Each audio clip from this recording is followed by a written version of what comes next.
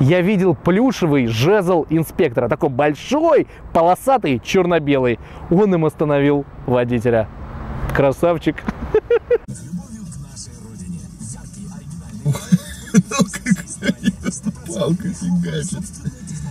Мы со стороны наблюдали. Нас не видели, конечно. Мы умеем маскироваться.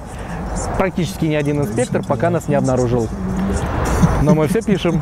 Подъехал знакомый инспектора, дал этот реквизит ему, и он решил сразу приколоться, так назовем, остановить водителя. Что он и сделал?